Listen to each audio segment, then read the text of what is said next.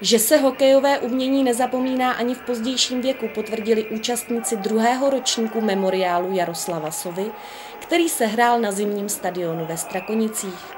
V turnaji nastoupila čtyři mužstva složená z hráčů nad 50 let, kteří v minulosti působili v různých soutěžích na jihozápadě Čech. K vidění byla řada pohledných kombinačních akcí, ukázkové góly, stejně jako skvělé zákroky mužů v brankářském.